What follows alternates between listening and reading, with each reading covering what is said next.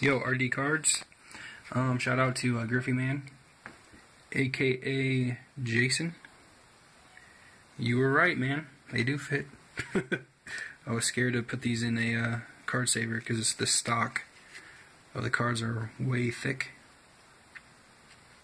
And they went in real nice and easy.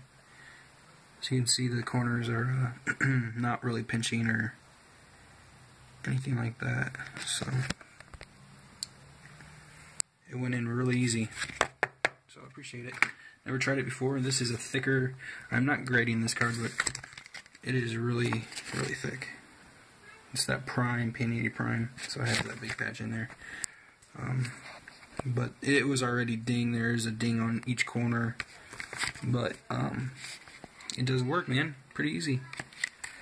I was really uh, scared that uh, to put them in anyways because I didn't want to ding the corners or anything like that. So I was just going to send them in the top loader, but not anymore. so I'm going to be uh, doing a few more of these, such as this Jason Merrill and uh, this Randy Gregory. And I already got finished with this uh, thicker gold standard card. Uh, Doug McDermott, so just wanted to do a quick video. I was sitting here thinking, I was like, man, I should do a shout out video.